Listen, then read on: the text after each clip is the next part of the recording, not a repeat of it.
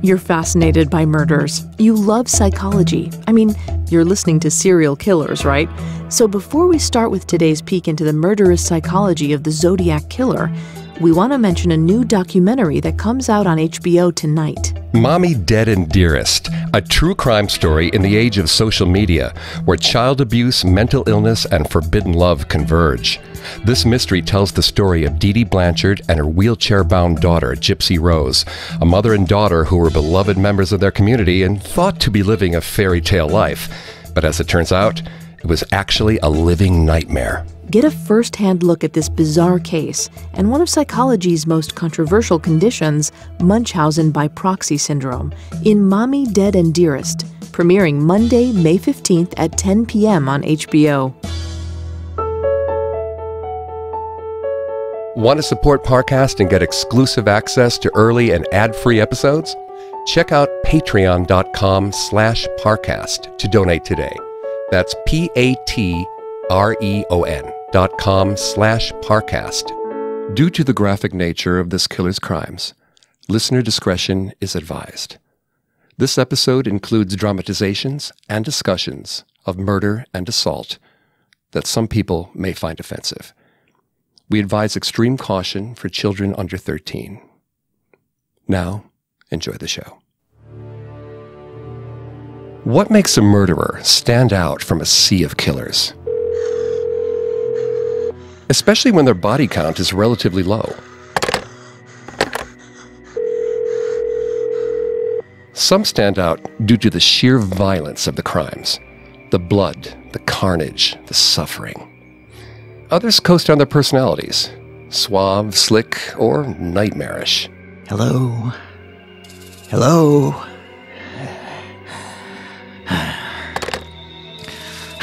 And some make mysteries of themselves, feeding the police and the public just enough information to keep them interested, while keeping enough hidden to avoid a sting.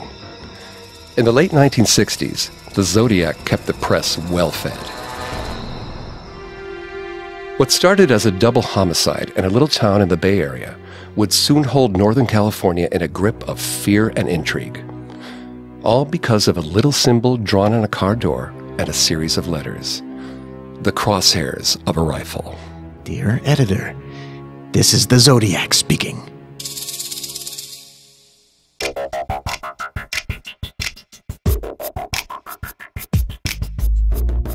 Hi, I'm Greg Polson, and this is Serial Killers, a new podcast diving into the minds and motives of the most infamous criminals around. This week, we'll be tackling the Zodiac Killer, the anonymous gunman who carved a path through California's Bay Area in the late 1960s. Not much is known about the man behind the nickname, but we'll unpack his possible motivations and trail of letters he left behind. If you want to listen to any episodes of Serial Killers, you can find them all on your favorite podcast directory or on our website, parcast.com, spelled P A R C A S T.com.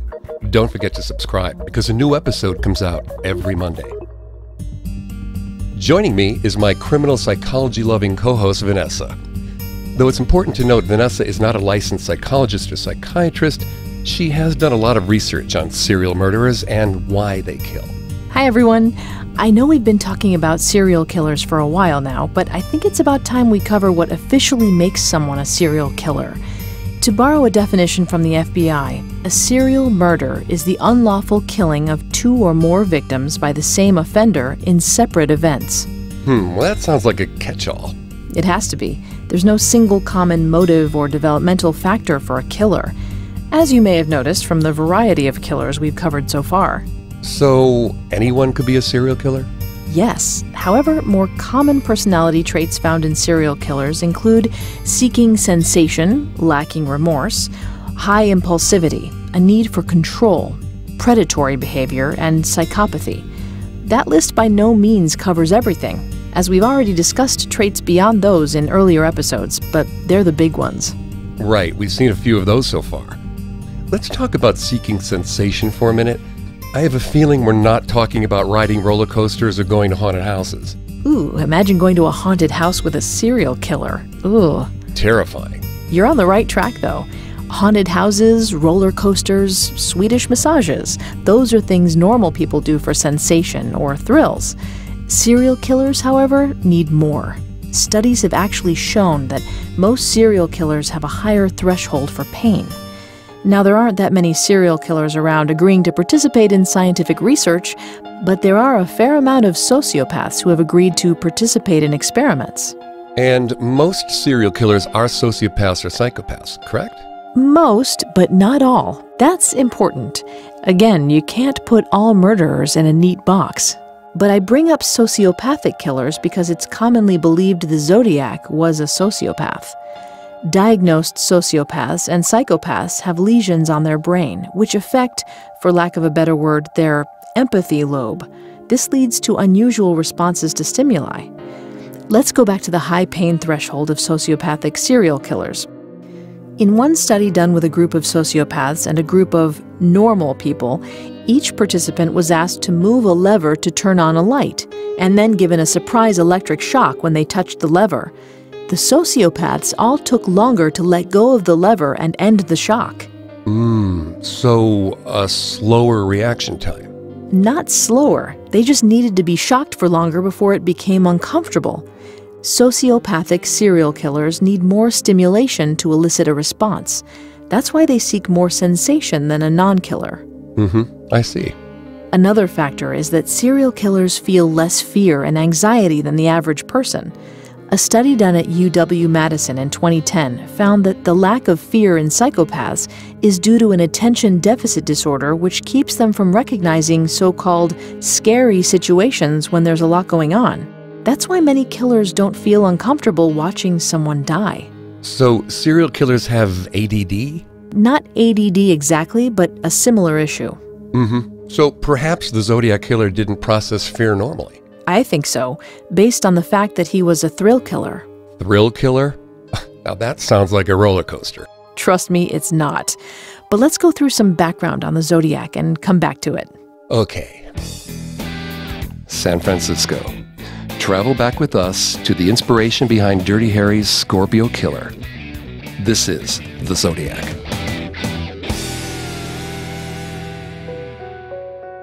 When we think of a serial killer, more often than not, we're going to conjure up two men the charismatic psychopath or the withdrawn, sullen loner. The Zodiac Killer was a curious mix of both. He was arrogant, brash, but the mocking letters to the newspapers he became famous for were littered with spelling and syntax errors. Some were nearly illegible. But every storied career has to have its start. Before the alleged killer called into the morning show, he had attacked seven people, murdering five. From December 1968 to October 1969, the Zodiac prowled the Bay Area. The Zodiac spree is officially recorded as starting on December 20th, 1968, with the murder of two teenagers on Lake Herman Road in Benicia, a city in Northern California. The first letter would be sent to the San Francisco Chronicle seven months later, on July 1st, 1969. He sent 22 verified letters to various newspapers, only ending in 1974. Many of us can imagine objectively what would drive a person to kill, and kill repeatedly. They're sick, they're evil, they are in some way unwell and abnormal. A successful serial killer is a relatively rare feat, so they must be anomalies. Yeah, but what motivates them? Even senseless killing follows the most basic pattern. During an FBI symposium on crime, they agreed that a serial killer could most likely have the following motivations monetary, sexual gratification, ideological drive, or the most common, rage. When someone claiming the Zodiac title called into KGO, the safest assumption to make was rage. The caller yelled that he wanted to kill kids. Oh, yeah, that last bit through the police. It was in relation to the seventh letter the Zodiac sent to the press. School children make nice targets. I think I shall wipe out a school bus some morning. Just shoot out the front tire and then pick off the kiddies as they come bouncing out. As a parent, that is absolutely horrifying to think that someone would go after your child. So, do serial killers target children frequently? Sadly, yes. A common trait amongst most victims is vulnerability.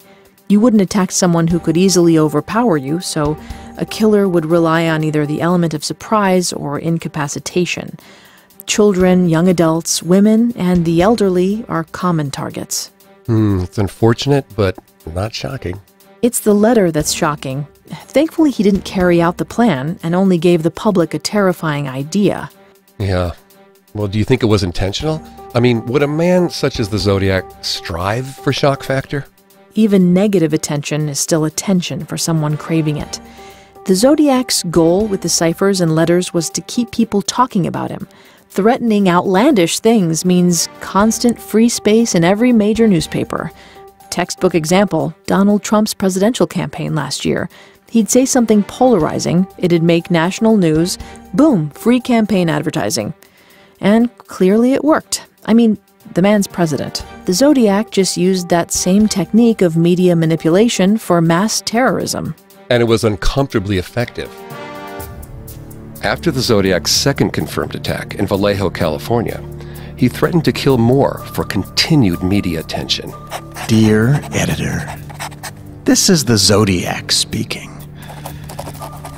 In answer to your asking for more details about the good times I have had in Vallejo, I shall be very happy to supply even more material.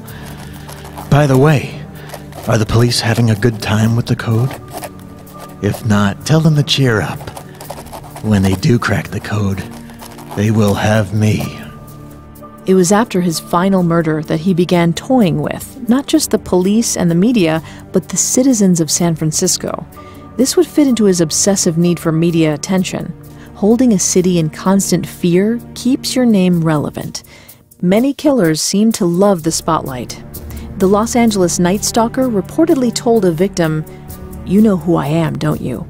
I'm the one they're writing about in the newspapers and on TV. And let's not even go into Ted Bundy. Right. We've already covered Bundy's use of the spotlight in previous episodes. The idea is narcissistic killers want to become celebrities. That's where you get copycat killers. An example of this desire is when the Zodiac demanded the entire city wear buttons with the Zodiac symbol on them. But that's a ways down the line. We'll come back to it.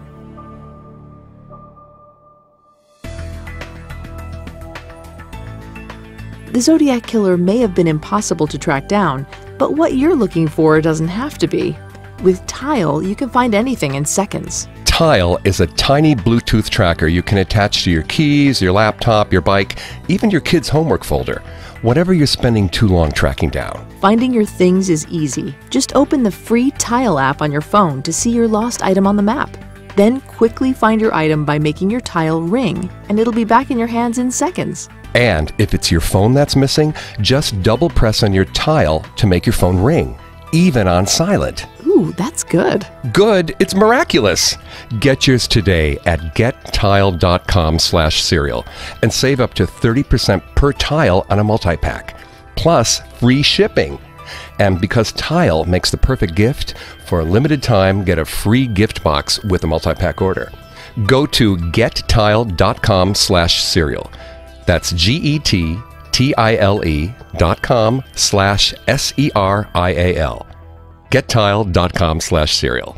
You know what I'm looking for? What to cook for dinner tonight. Well, you should try Blue Apron. Blue Apron makes incredible home cooking easy and accessible by delivering seasonal recipes with step by step instructions and pre portioned ingredients right to your door. And look at these meals. Oh, wow. Share them with our listeners. Okay.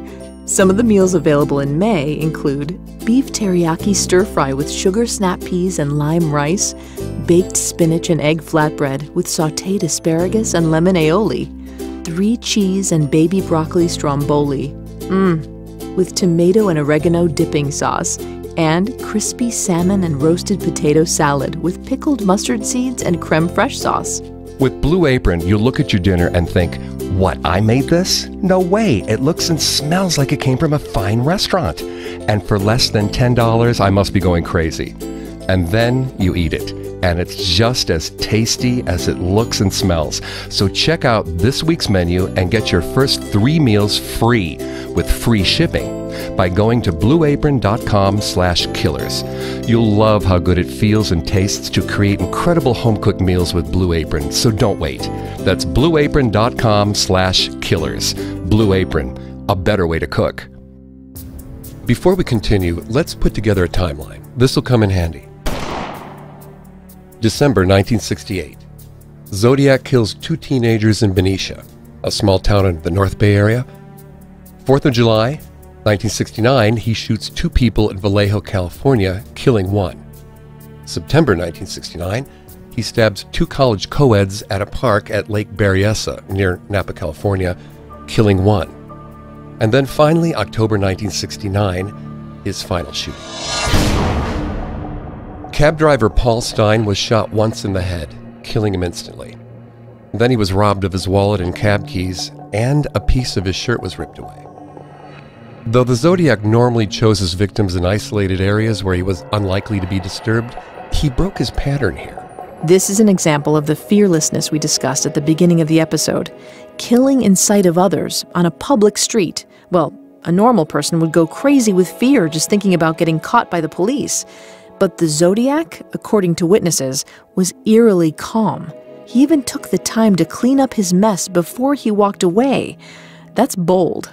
So, why would he switch up his MO after killing so many? It isn't uncommon for killers to adapt their MO, that is, modus operandi or mode of operation, to fit their crime scenes and circumstances. According to Psychology Today, an MO is simply a learned behavior that is subject to change. His attacks all took place on different terrains, with varying levels of seclusion.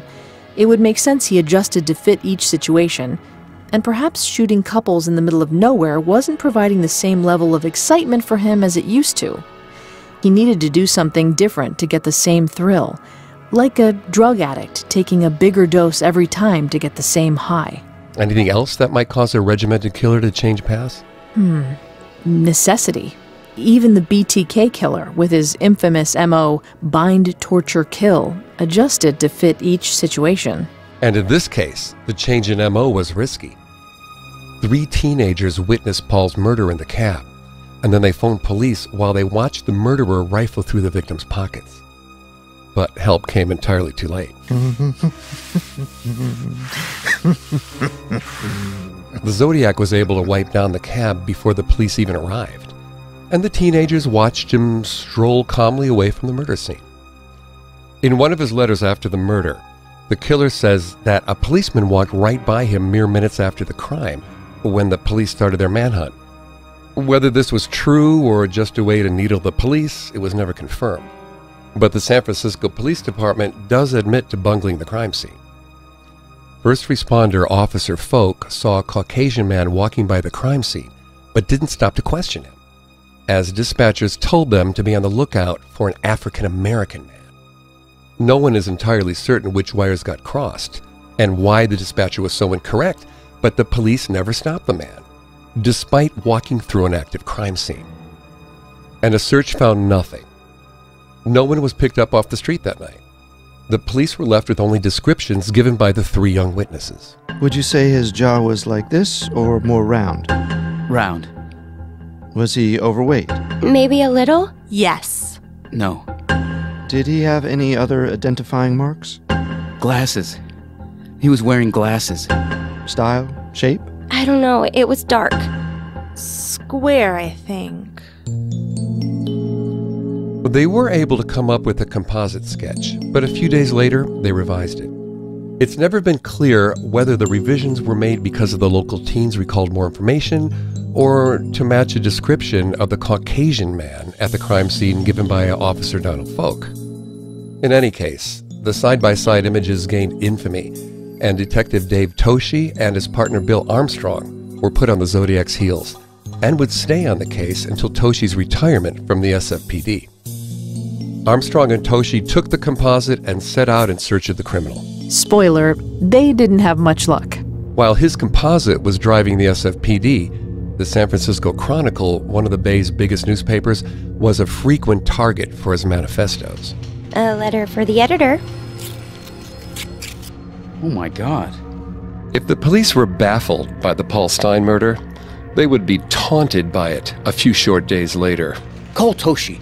Call somebody. The Zodiac wrote his second letter to the San Francisco Chronicle, the first to the newspaper using his new moniker. The police were very interested in one passage in particular. This is the Zodiac speaking. I am the murderer of the taxi driver over by Washington Street and Maple Street last night. To prove this, here is a blood-stained piece of his shirt. I am the same man who did in the people in the North Bay area. Along with the letter, the killer included a bloody scrap of fabric the police were able to confirm belonged to Paul Stine's shirt. A souvenir from the crime scene. Ugh. What type of killer takes souvenirs from his victims? Actually, souvenirs are common among killers. This isn't an extraordinary measure. All a killer needs is the desire to relive the moment and adequate time to collect it. They can range from a driver's license to the victim's severed head. What's more interesting is why the Zodiac would give away his souvenir. Okay, I'll bite. Why would he give away a souvenir? Attention, spectacle, publicity. The desire to get more attention from the Chronicle most likely outweighed the Zodiac's desire to relive his crimes. He had to one up the letters he'd been sending to maintain relevancy.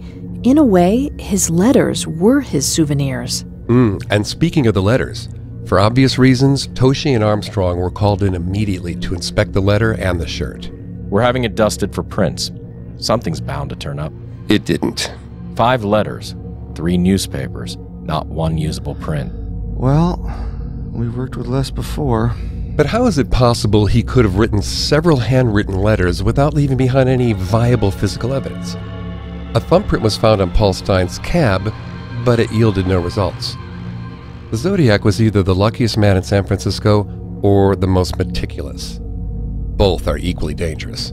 and terrifying for different reasons. Little is known about the man hiding behind the crosshair symbol, but the SFPD were able to piece together a profile of a narcissistic, self aggrandizing killer. Dr. Lawrence Friedman from the Institute of Social and Behavioral Pathology at the University of Chicago studied the Zodiac's killing pattern, particularly his attacks on couples. Friedman said, he has struck out in savage rage against those who seem to flaunt an intimacy that he craves with an intensity which only the fantasy of the deeply frustrated human being can imagine. End quote. Friedman also said, quote, He spreads terror because he leads a terror dominated life, and he insists on his power because he feels powerless. End quote. And that terror was spread through slayings and letters. Yes, back to the letters. One thing we can examine from the letters is the graphology. Now, the study of handwriting isn't the most trusted form of science, but it's what we've got in the way of clues to the zodiac's psyche, so we're going to talk about it. Handwriting analysis expert William Baker studied the letters and ciphers the zodiac sent, and his conclusion mirrored much of what the SFPD suspected. The zodiac was a bitter man with an unhappy life who wanted to punish the world for it. Baker said, quote, The strong slant to the left of the lower letters denotes a mother hostility and an unhappy childhood. Carry that trait further, and you find the man who is afraid of women and hates them. Carry that to the further extreme, and you have a man who is capable of killing women to get even with his mother. End quote. Hmm. His mother or his mother and father? Paul Stine is the only confirmed victim to have been a single target. In the four crime scenes, he attacked three couples David Faraday and Betty Lou Jensen on Lake Herman Road, Michael Renault Mageau and Darlene Ferrin in Vallejo, and Brian Hartnell and Cecelia Ann Shepard at Lake Berryessa. Could he have psychologically been going after both parents? Dr. Friedman had this to say quote, To those who gave him being but denied him affection or recognition, he is saying, however insanely, Look at what you have done to me. End quote. Of all the couples attacked, Michael Mageau and Brian Hartnell managed to survive. None of the women were so lucky. On top of intimacy issues, some psychologists and experts have pondered just how deep his hatred of women extended. Could there be an underlying current of misogyny in the crimes, or is it simply correlation that most of the men managed to survive? Well, the Zodiac's victims are too varied to prove misogyny or explicit targeting. It's simply more likely his female victims were hit in more vital areas than their male companions. While the Zodiac very well could have been a lonely, frightened mother's boy, his anger and violent, explicit fantasies suggest someone much more dangerous. Take, for example, his second murder.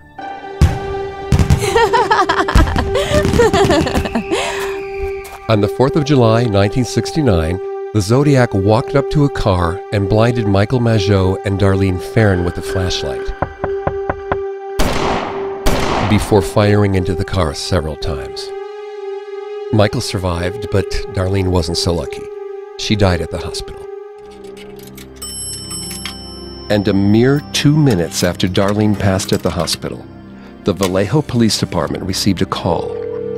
Nancy Slover, Vallejo Police Dispatcher, answered the call. Vallejo Police Department, how may I direct your call? I want to report a murder. If you go one mile east on Columbus Parkway, you will find kids in a brown car. They were shot with a 9mm Luger. I also killed those kids last year. Goodbye. Nancy described the voice as monotone and unemotional, like the killer was reading a prepared statement. But that phone call proved credible enough to link the murder in Vallejo with the December slaying in 1968. So why did he kill? In his own words, I like killing people because it is so much fun. It is more fun than killing wild game in the forest because man is the most dangerous animal of all. To kill something gives me the most thrilling experience. It is even better than getting your rocks off with a girl. another motive comes up in his ciphers. The best part of it is that when I die, I will be reborn in paradise, and all them I have killed will become my slaves. I will not give you my name because you will try to slow down or stop my collecting of slaves for my afterlife. The themes of paradise and slaves crop up more than once in the Zodiac's letters. In a Halloween card mailed to Chronicle crime reporter Paul Avery a year after Paul Stine's murder, the killer opened the letter with one and two word sentences Paradise, slaves, by fire, by gun, by knife, by rope. I shall, on top of everything else, torture all 13 of my slaves that I have waiting for me in paradise. Some I shall tie over ant hills and watch them scream and twitch and squirm. Others shall have pine splinters driven under their nails and then burned. Yes, I shall have great fun inflicting the most delicious of pain to my slaves. Paradise. Slaves? That sounds almost biblical. That's an interesting influence to consider, though we can't go too far with it. So, is it possible the Zodiac could have had a god complex? Not really. A so called God complex doesn't have a medical equivalent, but the extreme arrogance could suggest narcissistic personality disorder, which is in line with the police profile. So, besides arrogance, what are the other hallmarks of narcissistic personality disorder? Anything exhibited by the Zodiac? According to the DSM 5, symptoms include an extreme lack of empathy, a driving need for admiration, self confidence beyond any normal marker. Basically, they believe they are superior to everyone around them and expect to be treated as such. They have fantasies of power and success and exploit others for their own gain. Huh. And all of those come out in that last letter. Hmm. Narcissism is also evident in the Zodiac's constant need for validation and claim that he killed 37 people.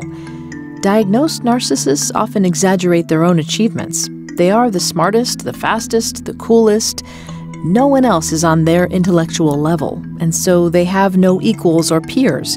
In the Zodiac's case, they only have slaves. And perhaps that superiority led him to believe that his victims didn't deserve to live like him. Perhaps.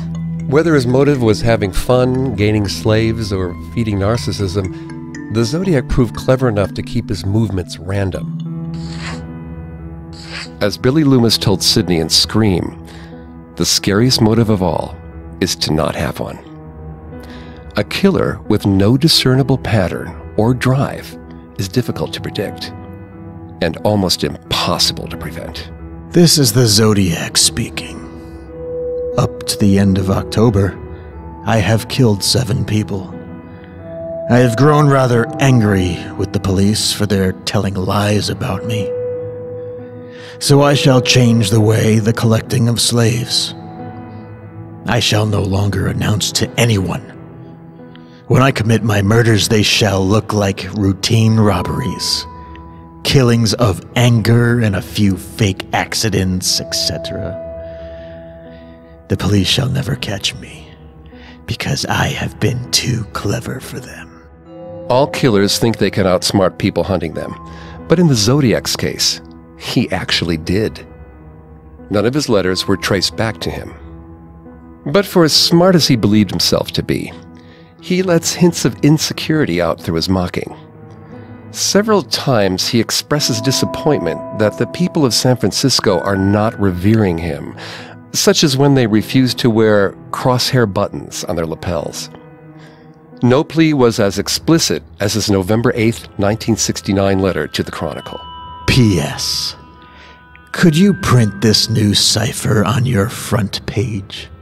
I get awfully lonely when I am ignored. So lonely, I could do my thing. Someone who craves infamy, who craves attention, could lash out in different ways to achieve it. For example, killers with a demonstrably difficult childhood tend to skew more sadistic. Take Otis Toole, a killer and cannibal who struck the South just a few years after the Zodiac spree ended. Born into an abusive family riddled with sexual and physical abuse, Otis fell into the orbit of equally sadistic Henry Lee Lucas, and a serial killing duo was born. They became known for their brutality, though neither bothered to hide their identities like the Zodiac had. Lucas bragged about hundreds of murders. However, we think he only killed 11. Only. Whew, what a relative term.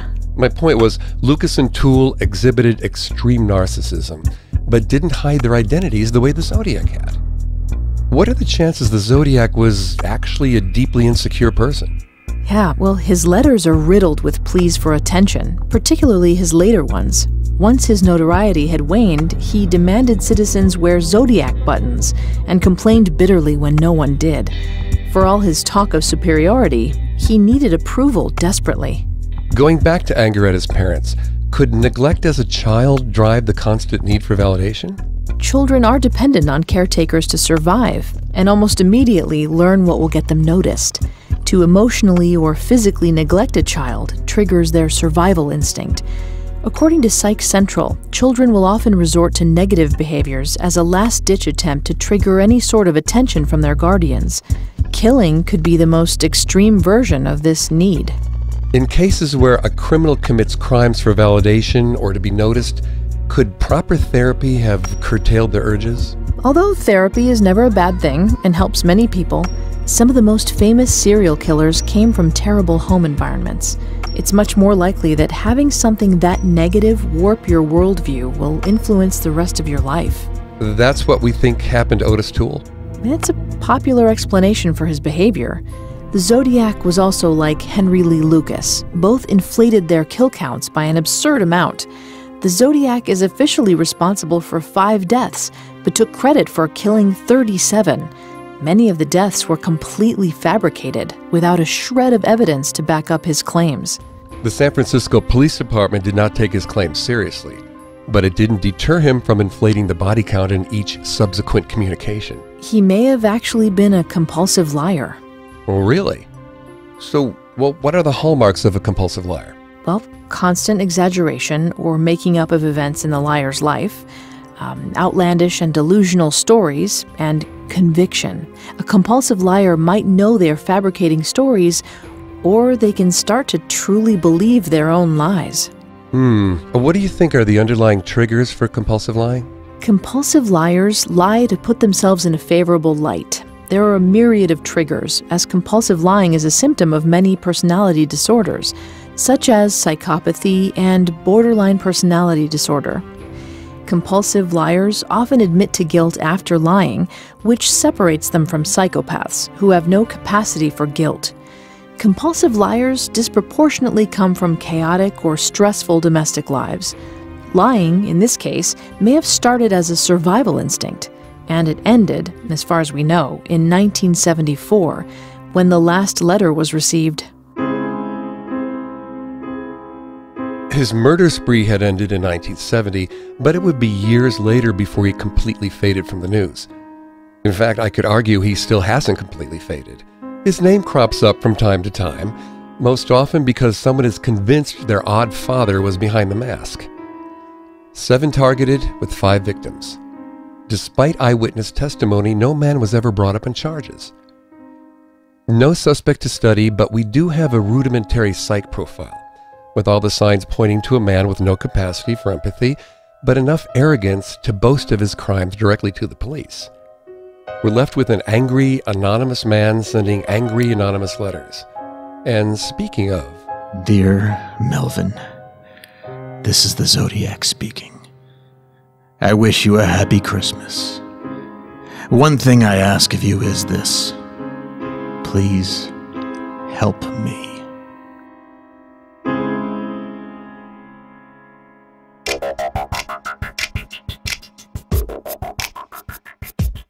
thank you for listening to Serial Killers. Be sure to join us next Monday as we conclude our look into the Zodiac Killer. We'll be taking a look at the Zodiac's ciphers, his victim profile, and telephone confessions from the real Zodiac, as well as imposters. If you enjoyed this episode, please tell your friends. Don't forget to subscribe to Serial Killers on iTunes, Google Play, SoundCloud, Stitcher, or any other podcast directory. Or through our website, parcast.com. That's P A R C A S T.com. A new episode of Serial Killers comes out every Monday. Please let us know what you think and join the conversation on our Parcast Facebook page. You can tweet us at Parcast Network. That's P A R C A S T Network. Have a killer week. Serial Killers was created by Max Cutler and developed by Ron Cutler. It's a production of Cutler Media and is part of the Parcast Network. It's produced by Max and Ron Cutler, sound design by Ron Shapiro, with production assistance by Joel Stein and Maggie Admire. Serial Killers is written by Samantha Gurash and stars Greg Polson and Vanessa Richardson. The amazing cast of voice actors includes, by alphabetical order, Jerry Courtney Austin, Mike Capozzi, Nicholas Massou, Manu Narayan, and Steve Pinto. Stop wasting time looking for your lost stuff when you could be listening to exciting episodes of your favorite psychological true crime podcast. Simply protect the things you use most with Tile, the convenient tiny Bluetooth tracker. Attach Tile to anything you don't want to lose, from your keys to your wallet and even your bike. Then use the free Tile app to help locate your missing items. Act now to get free shipping and save 30% per tile on a multi-pack. And for a limited time, get a free gift box. Go to gettile.com slash serial. That's gettile.com slash serial.